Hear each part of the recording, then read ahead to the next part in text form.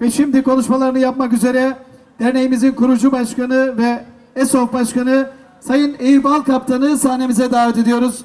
Başkanım hızlıca seni sahnemize konuşmalarını yapmak üzere Eyüp Başkanım.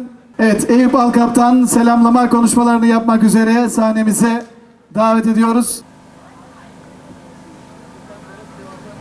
Değerli başkanım, kıymetli protokolüm, hepiniz hoş geldiniz, sefalar getirdiniz. Burada Hürriyet Derneği'nin e, piknik ve festival etkinliğine 2011 yılında başlamıştık. O günler buralar inanın ki çok e, arazi e, kötü bir durumdaydı. Belediye başkanımız bizlere o zaman destek verdiler. İnşallah bugün de yine destek veriyorlar.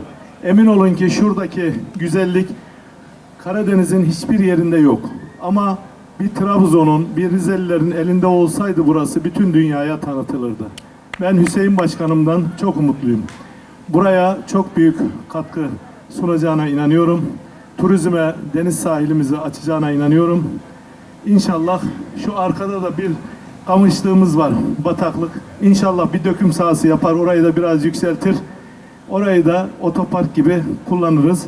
Buraya güzellikler katmaya devam ederiz inşallah. Biraz heyecanlıyım. Hakkınızı helal edin. Katkılarınızdan dolayı çok teşekkür ediyorum. Allah'a emanet olun.